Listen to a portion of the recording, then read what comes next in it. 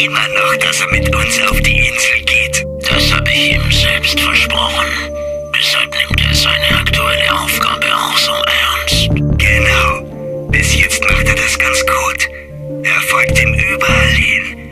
Und diese Agentenpfeife ahnt immer noch nichts.